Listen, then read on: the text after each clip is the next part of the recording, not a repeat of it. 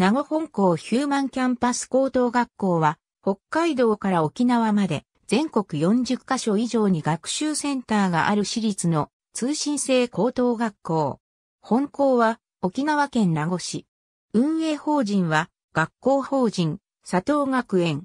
週1から5日通学の通学型の3コースと自宅学習中心の一般通信コースを持つ通信制高校で通いたくなる学びの場の創造を理念に、高校の勉強をしながら、様々な専門分野を学べるとことを特徴とした、通学型の専門コースを持つ高校として全国展開している。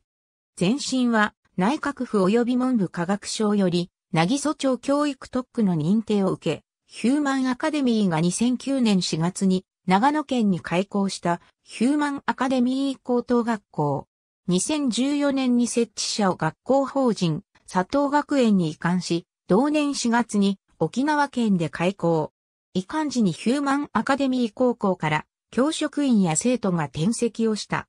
通学型コースは生徒の将来の夢発見を実現につなげる通信制高校として総合学園ヒューマンアカデミーや大阪バイオメディカル専門学校をはじめとした専門教育機関と連携し、高校の学習と合わせて20分野70職種以上に対応した専門学習ができる教育環境を実現。高校卒業アルファの体験で充実した学園生活と将来の自分発見を目指している。専門科目の授業は業界で活躍しているプロの先生が業界の動向を反映させながら実際に教室で指導を行うため、業界の今を身近に感じながら、将来社会に出て役立つスキルを実体験を通して楽しく学ぶことができる。また、一人一人の夢の実現のために、授業内容や学習方法、業界情報などの相談はもちろん、日常生活まで各学習センターのスクールカウンセラーに相談でき、在学中だけでなく、業界就職、大学進学、海外留学、プロデビューなど、卒業後のキャリアサポートまでをサポートする体制がある。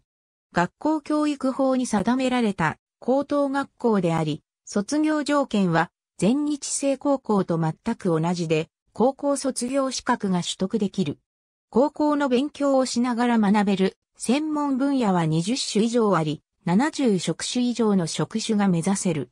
やりたいことがはっきりしている人がそれに打ち込めることは、もちろん、まだ何に向いているかわからない人には、いろんな分野に触れてみることで、自分の隙を見つけたり、やりたいことの適性を確かめたりするコースも設定されている。北は北海道から南は沖縄まで全国に40カ所以上のキャンパスがあり、どのキャンパスも駅から近く、通学にも便利な立地になっている。ヒューマンキャンパス高等学校。ありがとうございます。